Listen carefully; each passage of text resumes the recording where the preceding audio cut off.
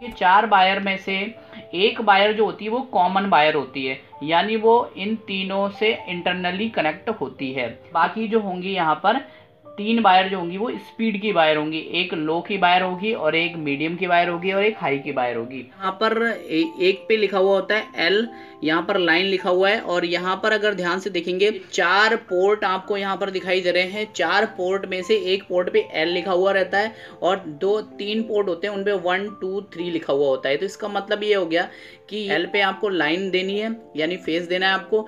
उसके अलावा वन पे आपको लो स्पीड मिलेगी टू पे मीडियम स्पीड और थ्री पे आपको हाई स्पीड मिलेगी। इसमें आपको देखो कैसे करना है कनेक्शन मैं आपको बताता हूँ। देखिए, यहाँ पर जो एल आपको दिखाई दे रहा है, इस पे तो ऑलरेडी आपको फेस फेस की वायर लगानी होती है। तो ये जो फेस की वायर यहाँ पर आपको दिखाई दे रही होगी, ये पतली सी वायर ये है यहाँ पर इंटरनली कनेक्ट करके यहाँ पर जोड़ रखी है ये फेस की वायर है एल पर। अब ये जो तीन सॉकेट बचे हैं रोटरी स्विच के, इन पे आपको एक एक वायर इसकी यूज़ कर लेनी है। पर आप जो बन है, इसका बन वाला पॉइंट इस पे आपको रेड वायर यहाँ पर इस तरीके से इसमें डालकर, इस छेद में यहाँ पर डालेंगे आप, और छेद में डालने के बाद इसको इस तरीके से यहाँ पर कनेक्ट कर देना है। अब देखिए, यहाँ पर ये तो कनेक्ट हो गई है।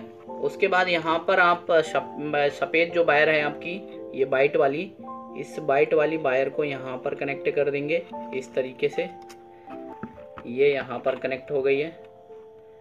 उसके बाद यहाँ पर अगर आप देखेंगे तो यहाँ पर आपकी जो ब्लैक वायर बची है, इस ब्लैक वायर को यहाँ पर कनेक्ट कर दिया जाएगा। तो यहाँ पर आपके ये तीन वायर के कनेक्शन हो चुके हैं। अब रह गया आपका ये वाला वायर ये आपका कॉमन वायर है, ये आपका न्यूट्रल का वायर रहता है। तो यहाँ पर इस इस सॉकेट से आपके तीन वायर्स में स्पीड जो है, इनमें आपको फेस मिल गया। अब रह गया न्यूट्रल देना। तो न्यूट्रल की जो वायर होती है, यहाँ पर कॉमन वायर होती है। यहाँ पर अगर आप कूलर खोलेंगे तो यहाँ पर बहुत सारी वायर एक साथ जुड़ी हुई होंगी। यहाँ पर आपकी न्यूट्रल की वायर होती है। तो इस न्यूट्रल की वायर में आपको सिंपली इस तरीके से यहाँ पर कनेक्शन कर देने हैं। कनेक्शन करने के बाद जब आप इसे ऑन करेंगे तो आराम से आपका जो कूलर है, वो आपके रोटरी स्विच से कनेक्ट हो जाए।